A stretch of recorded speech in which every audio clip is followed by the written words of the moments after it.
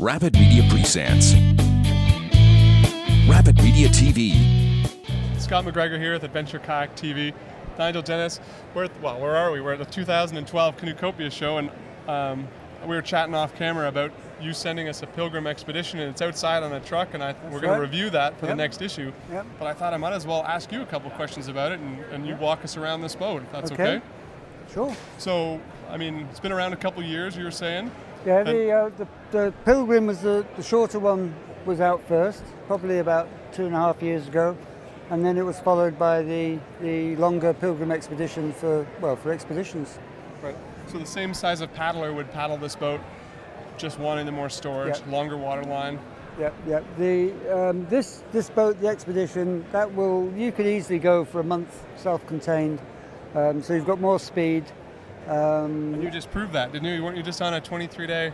Yeah, we just we just uh, paddled from Nassau down round the bottom of Georgetown, so we did the length of the Exumas, um, and we were completely self-contained. So in the in the Explorer, I had um, food for two of us for 28 days. That's hydrated food and about 32 litres of water. And Isla in this boat had just all the camping equipment. Great. So let's, So- let's take a walk down here. And Yep.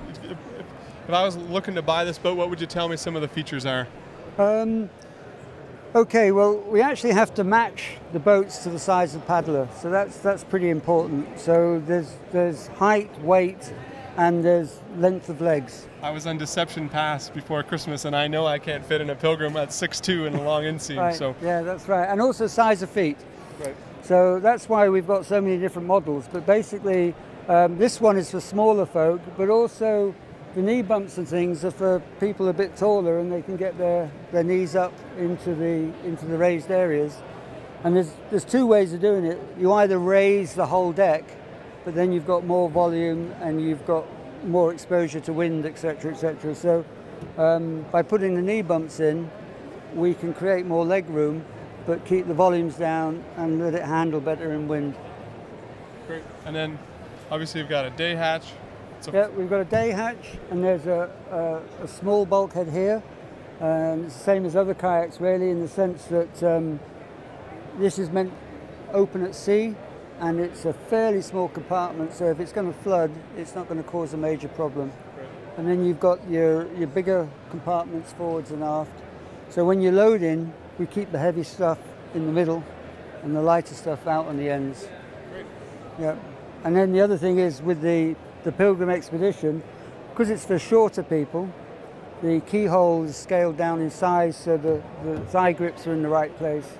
And they have an option of a narrow seat or a wide seat. Great! I'm looking forward to paddling it. Good. Well, thank you very much. You'll squeeze in.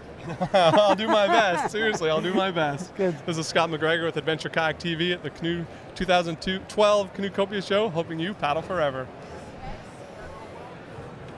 Learn more about Rapid Media's print and digital magazines, International Paddling Film Festival, on water events, and online store. Visit rapidmedia.com.